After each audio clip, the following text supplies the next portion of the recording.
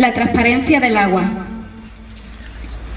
Cristal de agua bendita, caudal de fe y esperanza, amor y fuente de vida, manantial de luna clara, oasis en el camino, recuerdo de nuestra infancia, radiando sueños que encarnan, inocentes gotas de agua, que reflejando su esencia, adoptan formas sagradas, dando la paz al sediento, corazón a las palabras, bienestar a los heridos y ángeles a las batallas. Gota de agua cristalina que desbordaba tu alma, deslizada flor de piel, acunada en tus pestañas, como gota de amor puro, caminando entre las aguas contaminadas del fango que el tiempo armó sin entrañas. ¿Quién te clama, voz divina? Ilusión arrebatada, renace, vuelve al origen, vibrando en amor de fragua. La luz del amanecer despliega sus alas blancas entre carmines de sal y efluvios tenues de plata. La madrugada acaricia desde el susurro del alba, a pleno beso encendido entre tu alma y mi alma.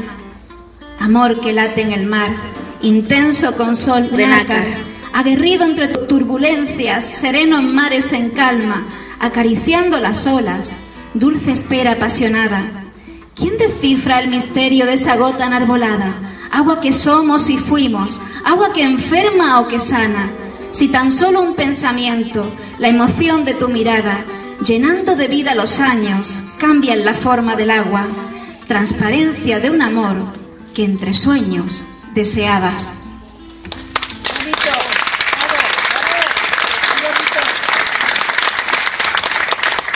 A flor de piel. A flor de piel la fragancia de cada amor contenido, de la emoción deshojada en el recodo marchito, de cada huella estampada en el recuerdo afligido, de cada voz desprendida del corazón del abismo. A flor de piel el jazmín que florecía dormido, la rosa de tu fusil dando su vida y cariño, la inmensidad de tu mar, los silencios compartidos armada de madrugadas, forjando un nuevo destino. A flor de piel te sentí, encendida en un suspiro, renaciendo en cada verso, despertando los sentidos, deslizada en la caricia, resguardada en el olvido, sanando con el reencuentro, venciendo al enemigo. A flor de piel te adoré, en el reto de estar vivos, liberando cada poro, respirando en el vacío, cada lágrima de sal, cada pulso consentido. Y te quise entre mis sueños como nunca te han querido. Málaga, a flor de piel, al son de un mismo latido.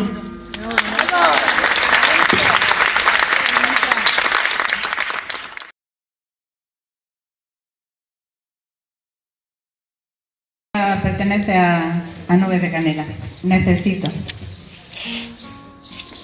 Necesito del agua que cala, de la furia del viento, de las cálidas playas, de la bruta montaña, de los trigales en la primavera esplendorosa y clara, del abrigo de una mano en mi espalda. Necesito tanto y nada. Un hálito cercano, una mano estrechada el poema sin letras de una mirada, la sorpresa que colma mi alma cansada, la luna abrazando el mar y el mar con sus olas tan altas. Necesito el silencio que tanto me habla, arrancar una rosa y sentir a la tierra madre y hermana, y sentirme desnuda de ti y volar como vuelan las águilas. Necesito cantarle al abismo que sé de él, de sus cantos de sirena blanca, de sus golosas glosas, de sus liras encantadas. Necesito la risa de un niño, nada más necesito, que poco necesita el alma. La tuve viva y se me ha muerto. Se llevó mi alma para la fosa, dejó en mi pecho la pena honda. Flores he puesto con tierra fresca de nuestro huerto, que la tierra la cubra mejor que el cielo, está muy alto y está muy lejos. Siento un dolor, un dolor siento, que me destroza el corazón. Y un sufrimiento que me corroe por fuera y dentro. Oscura noche de sombra, las estrellas que no brillan y la luna que no asoma. Y el viento frío que se ha llevado lo que era mío. Perra mi suerte, perra mi vida, perra su muerte. El ogro y la rosa marchita. Y dice, la veía triste mañana y tarde. Yo por su puerta pasaba, asomaba entre las flores que también se marchitaban. Representaba más años, se comentaba en el pueblo tenía un marido huraño que también la maltrataba. Bien la sangre en mis venas, se veía en sus facciones, tenía carita de buena y halos de un desengaño.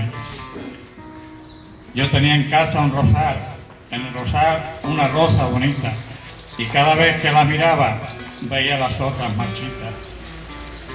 Un día cogí un sobre en blanco, sin remitente ni dirección, le puse dentro un poema y un pétalo de mi flor. Lo hice de madrugada, sintiendo en mi pecho un temor. La mujer era casada y el poema era de amor. Al dejarlo tuve suerte. Cayó donde deseaba, entre aquellas flores tristes que afeaban su ventana. Al pasar al mediodía vi que el sobre ya no estaba. Me asomé entre, entre las macetas y una luz la delataba.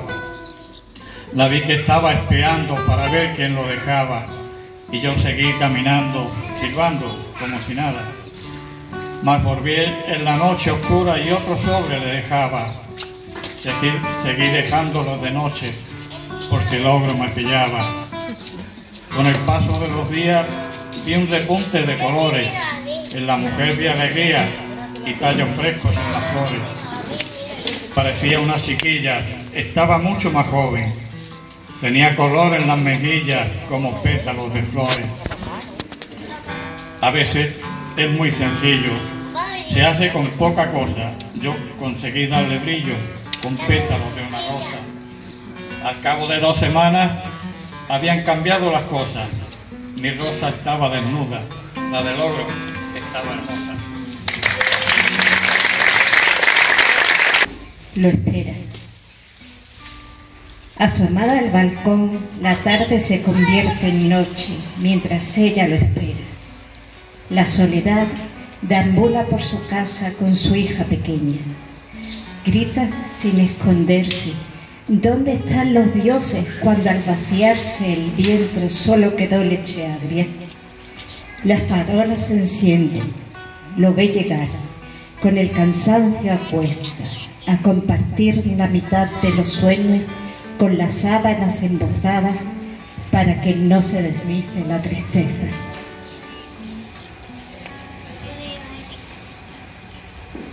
Y esa niña que estaba ahí habla con la mirada.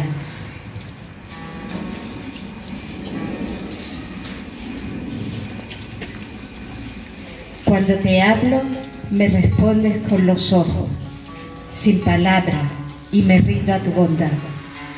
Mirada de gracia cautiva y sola, parada al inicio de la vida, infinita entre todas.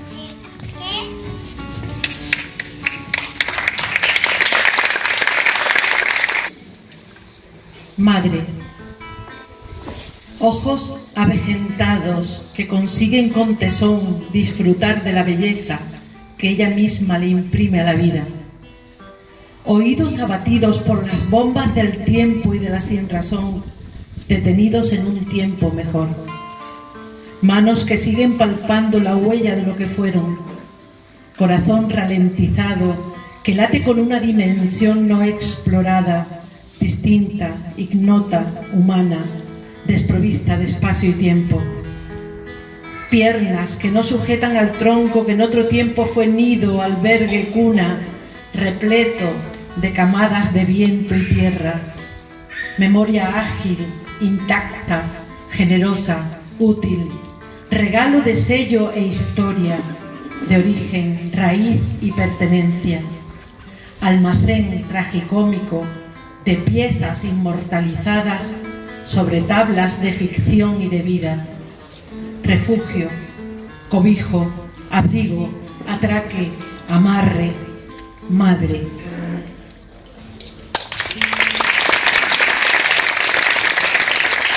Si yo fuera árbol, anidaría en tu jardín y me convertiría en sombra terrera de las hojas sin vida que alfombran tu huerto. Llovería ramas de escarcha sobre las raíces de tu manto, preñando de luz el trino de ave que te anochece dentro. Susurraría secretos de viento a los cuatro cantos que ruedan por las torrenteras de tu entrañas y protegería con mi copa nuestro sueño despiertos de la impostora esperanza que se extingue con el tiempo. Alazanes del amor. ¿Dónde están mis alas cercenadas por el viento? ¿Dónde las risas mutadas en tristeza? ¿Dónde los gritos acallados por el velo del silencio? ¿Dónde las manos briosas, puños en alto, hoy abiertas, laxas de esperanza? ¿Dónde los sueños, perdidos en la nostalgia, desmembrados en el desván del tiempo? ¿Dónde, dónde, dónde estamos en estos días de desgarrado presente? ¿Dónde sino en ti y en ti, en vosotros, cabalgan nuestros sueños? En vosotros, caballos alados, alazanes del amor, en vuestras renovadas risas, en vuestros altaneros gritos, en el recuerdo recobrado de aquel desván polvoriento de sueños que creímos olvidados.